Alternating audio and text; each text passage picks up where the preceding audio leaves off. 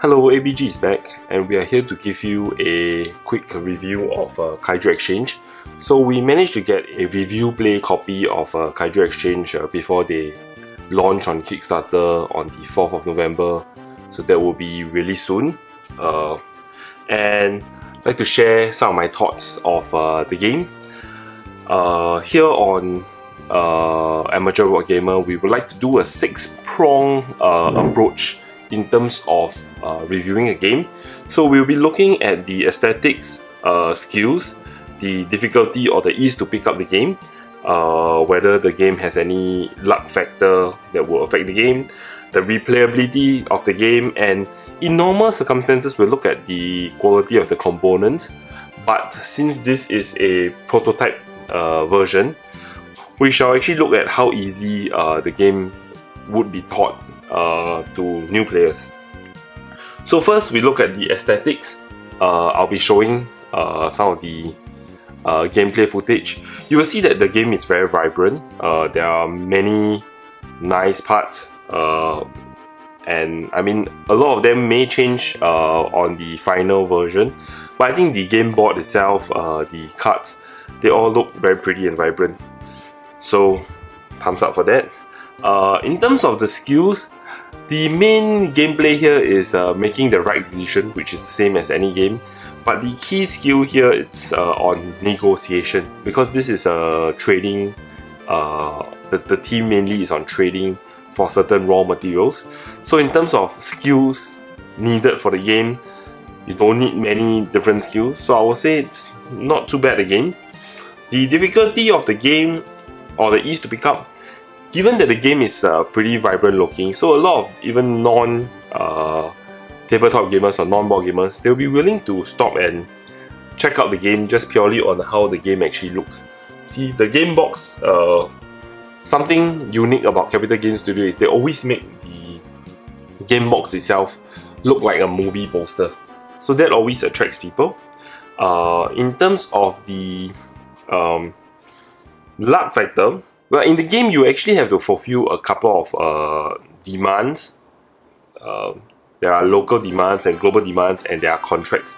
So the thing is that the exclusive contracts probably need a bit of luck because you could actually uh, start with a player. There are four kinds of materials in the game. You could start with a player that produce, uh, for example, the uh, tentacle. However, the contract that you receive, the two exclusive contract that you'll be receiving, may not require tentacle or only require one. And that's one out of five materials that you need to get. So in terms of that, uh, there is some luck factor to it. And on your turn if let's say the uh, demand that is flipped up isn't what you need, you wouldn't have that much options other than uh, choosing to trade for it. And if other players are unwilling to provide you the materials or the game is in early stage, the trading uh, part to it will be probably all you can do or you can trade with Banana Republic which is a new thing uh, for this game from Capital Gains that they have. Kind of like Automa. Replayability of the game is something I think the game suffers a little. Uh, there is a set of event cards uh, but however looking at the event cards solely you play through almost all the event cards. I mean unless someone wins the game before every single event is shown but since every component in the game is being used for a gameplay, that always uh, will affect replayability because in terms of strategies and when there are four players and there are materials that you're trading, uh, other than different uh, the demand cards showing up, there isn't too much uh, difference in terms of the replayability. So I think replayability will suffer a bit. And in terms of the teaching of the rules, there are quite a number of components uh, that will be shown on the table at one go. And because of that it's not the easiest game to teach uh, even though people will be attracted to play because of how beautiful the game aesthetically will look like. But it's on the teaching of the actual rules that they may take a while. When I first taught the rules to uh, a group of people who were playing it for the first time it took me 15 to 20 minutes and even so they couldn't fully understand everything until we kind of have a first round of playthrough. So in terms of that, yeah, that will be something uh, to take note of. But of course, what I'm reviewing is still the prototype. Uh, Kickstarter is coming out on the 4th of November, so do check them out. Uh, there are still some final rule changes between the prototype that I'm playing and the final product. That's what I'm uh, told. So I'm, I'm thinking that the final product will be a bit more refined than what I have been playing. But what I think was quite interesting is that in the game, other than winning on your own, you can actually uh, get the Alliance uh, token with uh, Banana Republic, which is an Automa kind of thing in the game. And it's a good add-on uh, by adding to the 2019 trend of Automa.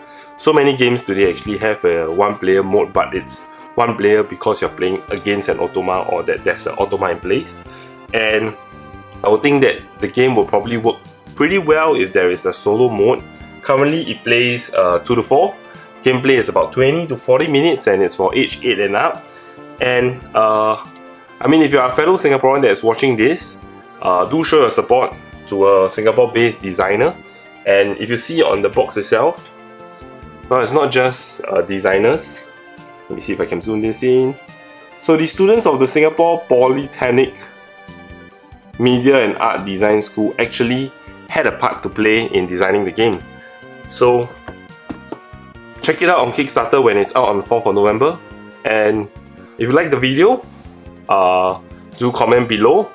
And uh, we'd like to hear from you on your thoughts of the game. Give it a like, share the video, uh, and subscribe below.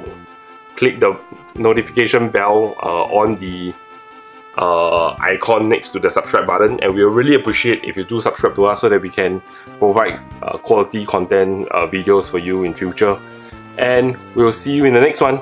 Thank you for watching.